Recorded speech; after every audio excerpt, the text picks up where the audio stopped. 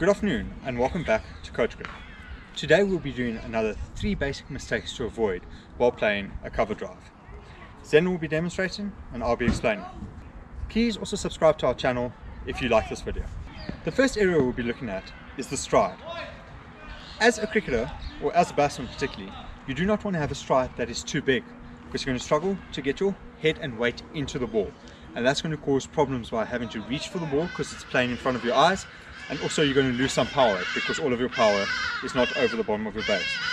For this part we're going to look at the hand line through the ball. You do not want your hands to open up which is otherwise known as inside out because you're losing power as you're striking the ball. The bat face is opening up to the ball meaning that less surface area of the bat is going to make contact with the ball and this gives a greater chance for an outside edge. At the same time, you do not want to close your hands off by going too far across your body because this creates another area where the leading edge of the bat comes towards the ball and you can either hit it up or hit it straight back to the bowler. But for both of these, we are not utilizing our power to the fullest. What you want is you want your hands going straight through the line of the ball with the full face of the bat, all the way to where you want to hit the ball, basically making a line with your whole body with your hands at the end of it. The final area we're going to look at is making sure that when you make contact with the ball, you do not pull your hands up in the shot. As the swing is then stunted and we're losing power because we're not hitting through the ball anymore, we're hitting into the ball and then the hands are coming up with it.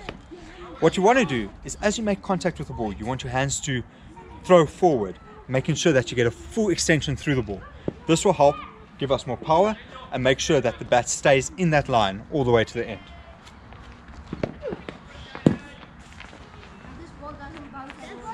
As you can see, Zenon keeps his figure 9 shape with a nice high elbow up until the point where he'd make contact with the ball and then he throws his hands forward off that to maximize his power and to try and get the most out of the shot.